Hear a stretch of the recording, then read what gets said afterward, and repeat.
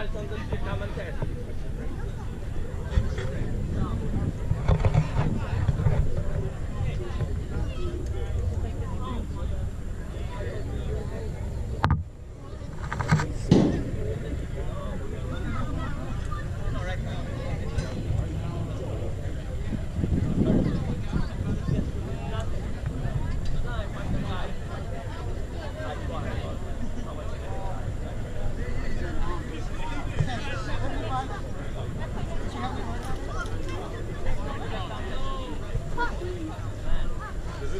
to the LAV when I was for the light armor group.